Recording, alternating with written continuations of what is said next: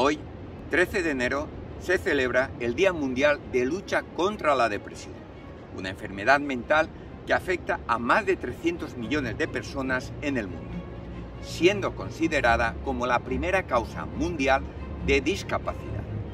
España es el cuarto país de Europa con más casos de depresión. En 2020, el 5,4% de la población española, 2,1 millones de personas, padecía algún tipo de cuadro depresivo, siendo 230.000 las consideradas graves. Los tratamientos para esta enfermedad requieren normalmente de medicamentos y psicoterapia.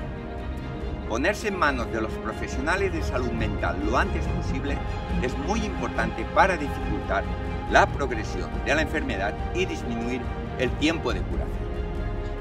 Los últimos años han surgido investigaciones que afirman que existen actuaciones complementarias a los tratamientos habituales que ayudan a la prevención y curación de la depresión.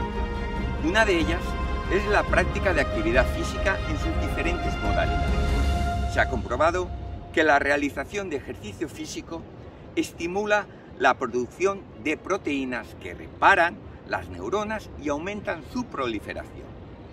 Contribuye a regular los niveles de serotonina y otros neurotransmisores. Aumenta el flujo sanguíneo cerebral y estimula la liberación de endorfinas.